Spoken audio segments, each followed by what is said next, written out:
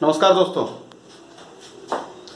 आज मैं आपका मुलाकात अपने चाइल्डहुड फ्रेंड देवानंद शाह से कराना चाहता हूँ सॉरी डॉक्टर देवानंद शाह से कराना चाहता हूँ वो न्यूरो साइकेट्रिस्ट है कुछ कोरोना वायरस से जुड़ी हुई बातें आई है उन्हीं के जुबानी सुनते हैं হ্যাঁ নমস্কার আমি doctor Debanjan sir from department of psychiatry আমি আপনাদেরকে আজকে কিছু জিনিস বলতে চাই কি করোনা ভাইরাসের জন্য যে মানসিক যে প্রবলেম হচ্ছে মানুষদের মধ্যে যেন কী কী মানসিক প্রবলেম হতে পারে।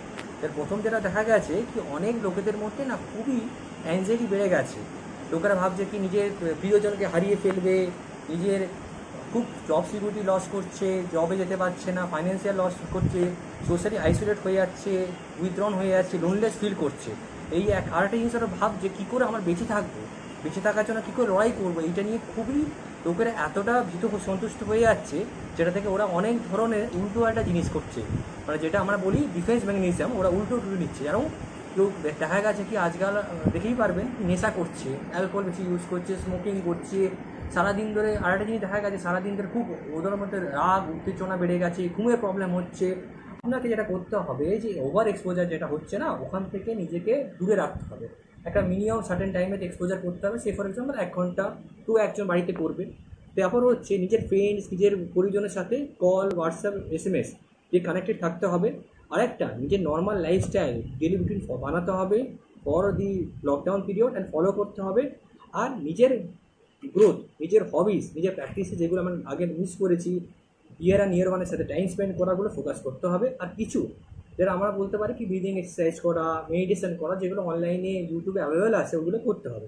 এবারে যেটা হলো কি, বাচ্চারা কী করবে? যারা স্কুলে যেত, যারা কিন্ডার গার্ডেনে যেত, ওরা কী করবে? ওরা তো খুব উত্তেজিত হয়ে আছে বাইরে বেরোনোর জন্য। তো বাবা মারা কী করবে?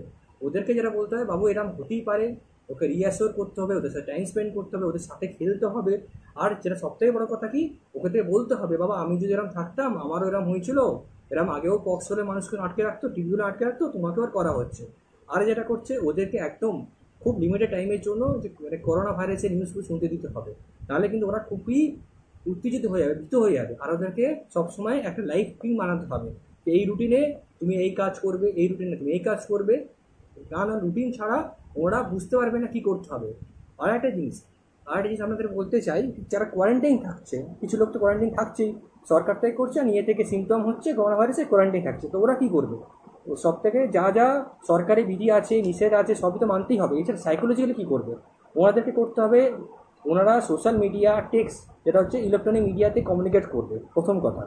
তো এবার সেকেন্ড কথা হচ্ছে নিজের জন্য একটা রুটিন বানাবে কি how to cope up the time and divide the time during the quarantine period আর নিজেকে কী করে বিজি রাখবে?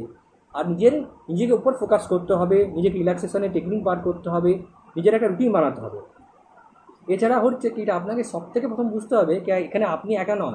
বিশ্বের কোটি কোটি লোক কিন্তু এই করোনা ভাইরাসে আক্রান্ততে ভয় পাচ্ছে, ভীত হচ্ছে। আপনি একা নয় এখানে আপনাকে নিজেরই সোশ্যালি আইসোলেট হওয়ার কোনো উচিতই নয় দরকারও নয় আর লাস্ট থেকে সব থেকে জিনিস বলা উচিত, আমরা যারা হেলথ কেয়ার প্রোভাইডার আমাদের মধ্যে প্রচুর স্ট্রেস হচ্ছে।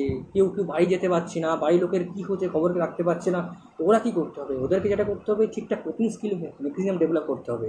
মানে উল্টো পাল্টা, যেন স্মোক করা, আমার তো মানে আরও কিছু, রেগে যাওয়া ওইগুলো না করে অ্যাপ্রোপ্রিয়েট ফুড নিউট্রিশন মেনটেন করতে হবে রেস্ট মেনটেন করতে হবে, ওর সাথে হেলদি ফুড হ্যাবিট মেনটেন করতে হবে, আর যতটা পারুক ফিজিক্যাল কন্ট্যাক্ট না থাকলেও ফোর ইলেকট্রনিক কন্ট্যাক্ট রাখতে হবে।